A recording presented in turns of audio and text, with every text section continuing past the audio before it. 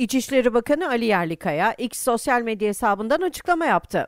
Yerlikaya, kimler terör örgütleri ve onların uzantılarıyla, organize suç örgütleriyle bir olup FETÖ taktikleriyle Sayın Cumhurbaşkanımıza, hükümetimize ve siyasilerimize sosyal medya destekli oyun kurmaya çalışıyorsa, onların oyunlarını da, kurdukları tuzakları da yerle bir edeceğiz dedi. Cumhurbaşkanı Recep Tayyip Erdoğan liderliğinde organize suç örgütlerine, şehir eşkıyalarına, uluslararası kartel haline gelmiş zehir tacirlerine, uluslararası örgütlenmiş göçmen kaçakçılarına, yabancı istihbarat servisleriyle irtibatlı illegal yapılara ve suç odaklarına göz açtırmadıklarını, açtırmayacaklarını belirten Yerlikaya, bu mücadelemizi kimler engellemeye çalışıyorsa, kimler FETÖ'vari gizli tanık taktikleriyle kendi karanlık düzenlerinin hakim olmasını istiyorsa, onların o düzenlerini de başlarına yıkıyoruz, yıkmaya da devam edeceğiz ifadelerini kullandı. Hangi kurum içinde Cumhurbaşkanı Erdoğan'a, hükümete ve siyasilere yönelik yapılanma varsa sonuna kadar gidip o yapıları tespit edip adalete teslim edeceklerini belirten Bakan Ali Yerlikaya şöyle devam etti.